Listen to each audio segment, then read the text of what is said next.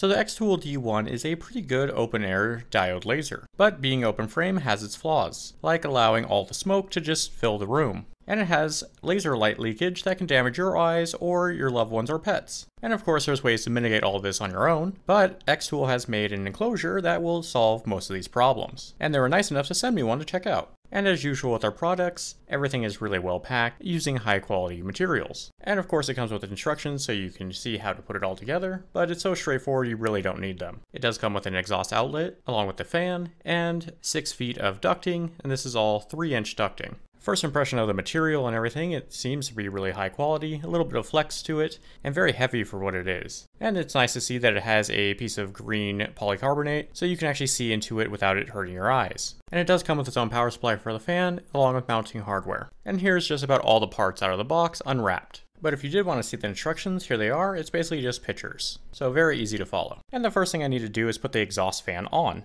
which is simple enough, and as soon as you plug it in, it'll turn on, so there's no on and off switch. I happen to have the air assist with my setup, and they didn't forget to leave a port for that, which is really nice. And there's no tools needed putting this thing together, it's all held together by Velcro. And with all of the Velcro stuck in place, there's just two snaps left, on either side to keep the top propped up and easy to close. And when it comes to closing it up, it has two magnets in the front to make sure everything is sealed. And with the enclosure set up, I can put my air assist line in and plug it into my laser head. And this will also keep it up and out of the way of everything too. When it comes to the side of this, it has openings so you can plug everything in, but it doesn't line up right, meaning I can't power this or plug it in or anything. But I found out this is a change due to the riser sizes changing over time. So I ordered some of their new ones and swapped them out and everything lines up perfectly. And you can use this at three different heights inside this enclosure.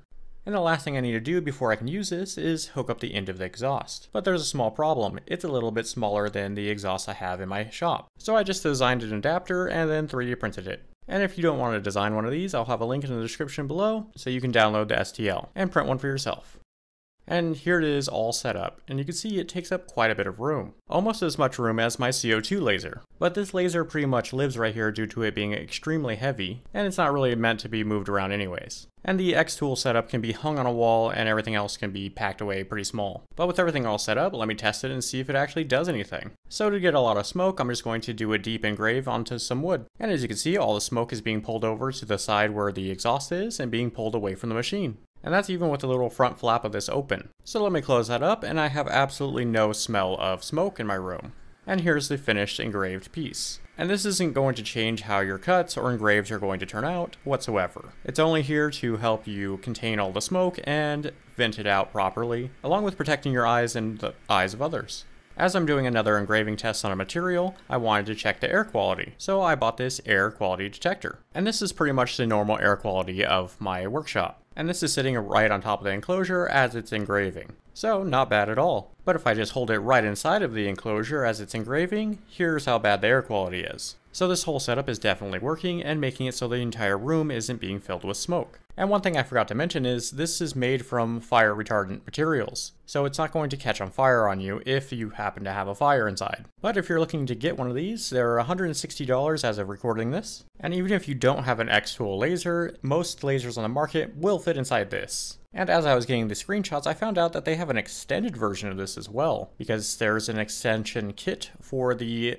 D1 laser cutter, which I had no idea about until right now. So to sum up all my thoughts on this, it works really well and it is very easy to set up and take down and store. But let me know what you think in the comments. But anyways, thanks for watching and I'll see you guys next time. Bye!